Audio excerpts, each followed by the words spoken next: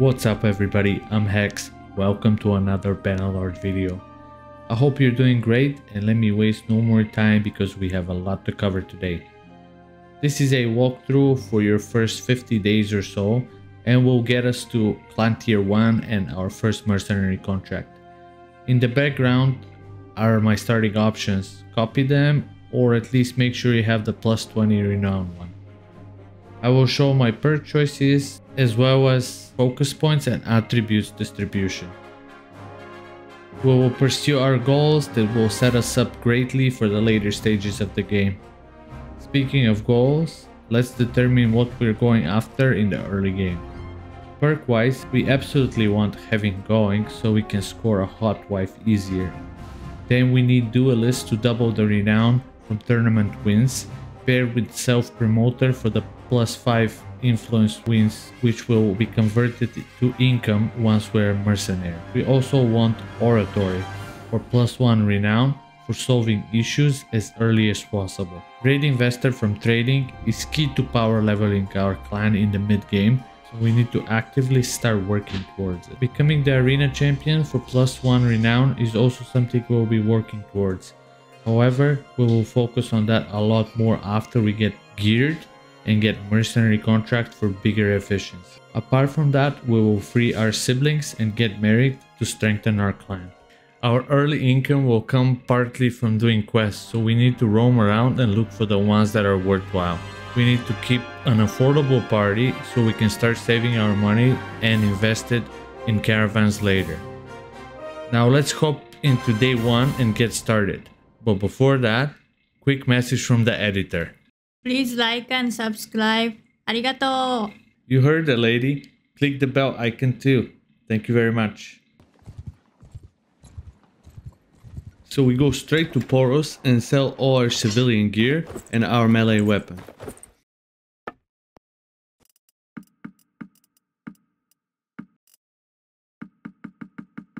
Then we buy all the hogs and chop them up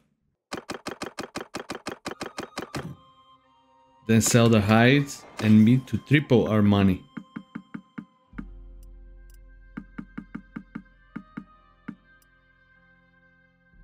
Buy a bunch of more arrows. Then we check the leaderboards to see that we need 35 wins to become the champ.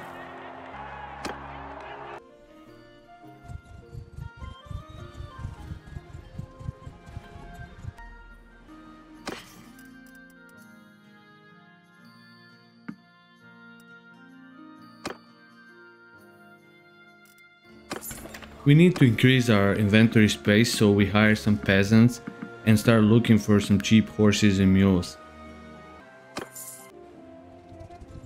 Unfortunately the prices are a bit steep for our pocket so we decide to start moving towards the Aserai desert in hope for more affordable pack animals.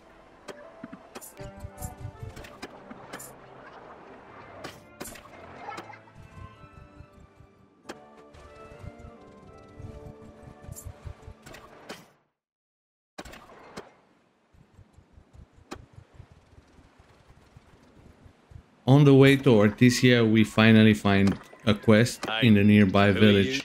It's one of the easier quests to do. Landowner needs manual labors. All we need to do is bring some prisoners. We get to work by killing nearby looters.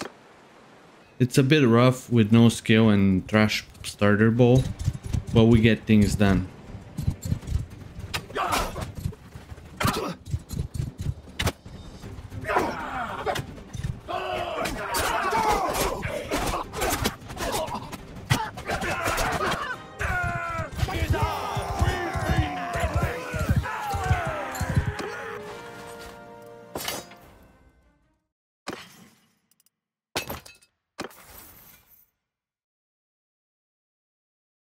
We spent our first focus point in medicine.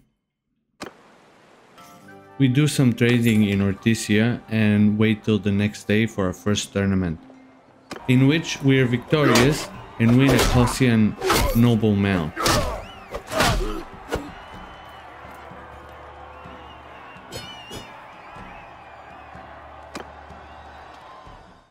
Level 2 and 3 focus points go to bow and riding. We get deflect in one-handed and well-built in athletics. Then we're gonna sell the Kosian because we can't even use it anyway and we need the cash. Then we murder some more looters.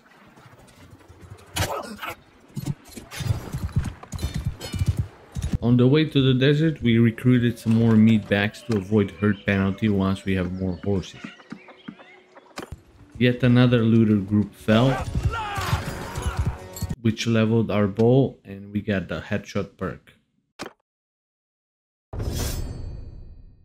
In Quyaz, we did some trading which leveled us to 4. The attribute point went to endurance and focus point in athletics.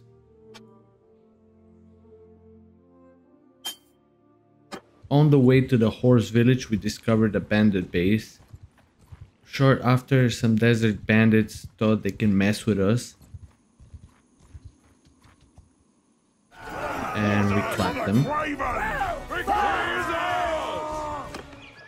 We carried on with our mission to buy horses for extra inventory space in the nearby villages. They were scarce but good enough for our needs and definitely better prices than the Empire lands. For our 25 riding perk, we chose Nimble Steed. Then we decided to grab a few soldiers on horses to improve our party speed.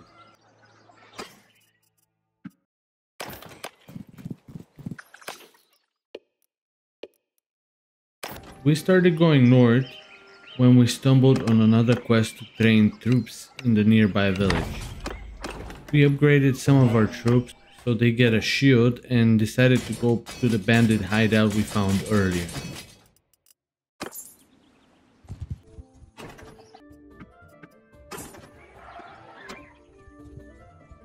Get some easy loot from the bandits and also finish this quest quickly.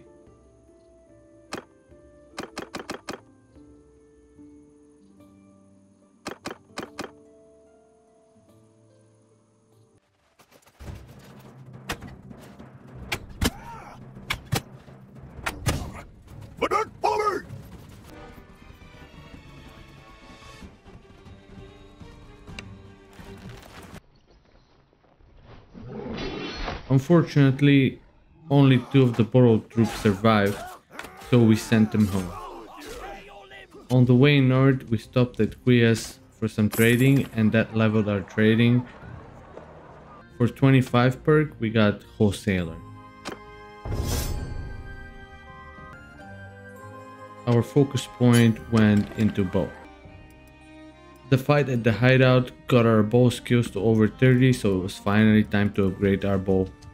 Using the simple short bow will feel like huge upgrade over the starter bow. Back in the Empire lands, we could finally complete the quest we got earlier.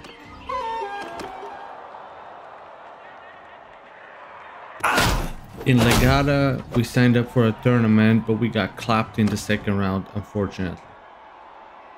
So we took it on a group of looters. It was very easy with the new bow. Back off, stranger. Then we got a quest to kill two more bandit groups. And we made short work of them. Sorry.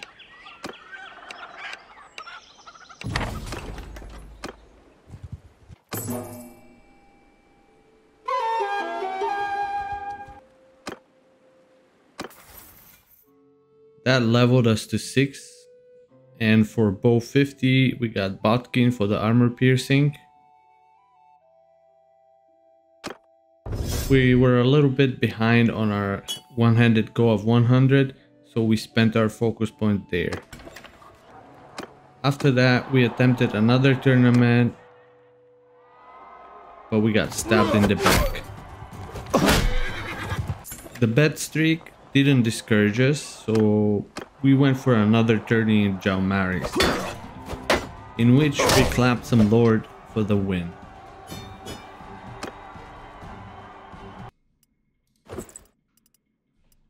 Finally got some small upgrades and leveled up.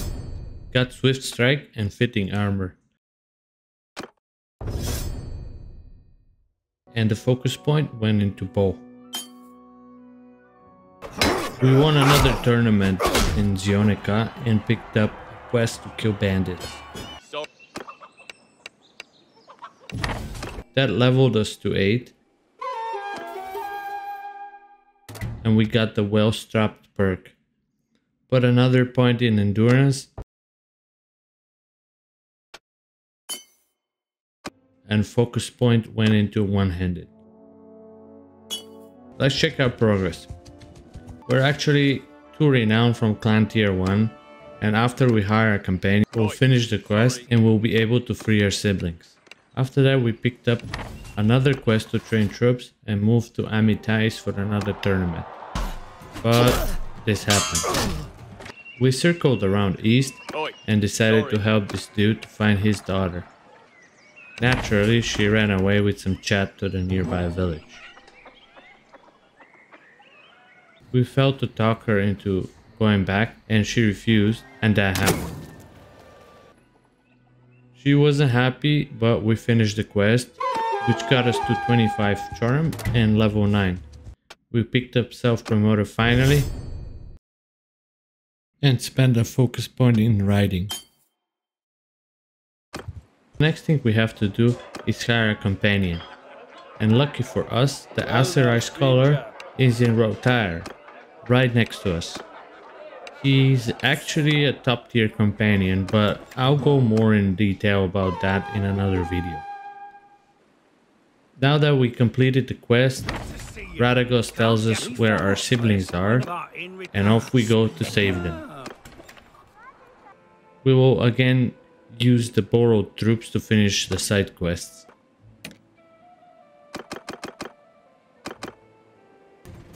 We storm the bandit lair and win Eve.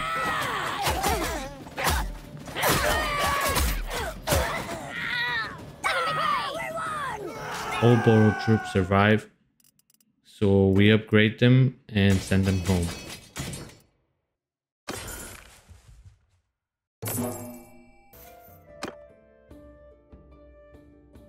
The fight finally get us to having going perk, so we can sway a lady to marry us. We lose no time and tell Sora that we desperately need her love and her armor. The first set of charm checks, we get all 100% thanks to having going perk. Second time we got solid 72% that gets the job done.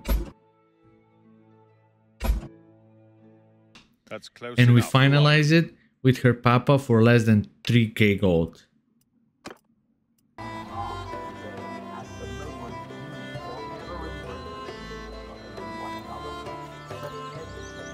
This actually gets us to level 10 and we invest a focus point in athletics.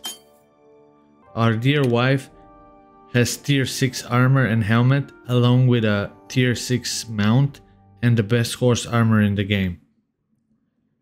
Soon after, the Aserai sent us a mercenary contract. But we can go with whoever pays the most.